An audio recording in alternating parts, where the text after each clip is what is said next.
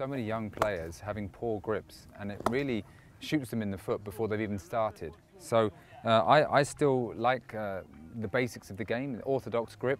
Um, now, and that would be uh, talking about the two V's between the, the index finger and the, and the thumb, uh, aligning these V's down the shoulder of the bat, coming down here. So as you can see there, that one and that one coming in sort of a straight line running down the shoulder of the bat.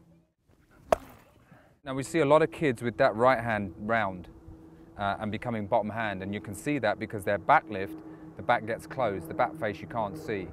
So um, I'm very keen on an orthodox grip in that regard. Now look, um, whether they hold it at, at, the end of the handle or whether they hold it uh, down the bottom, that's, that's neither here nor there. I'm not too fussed about that, uh, as long as they can present the full face of the bat um, regularly and through the hitting zone.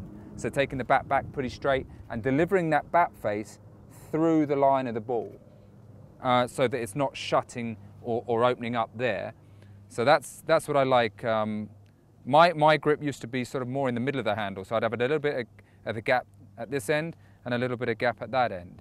Uh, hopefully with both hands working together to be able to hit through the ball.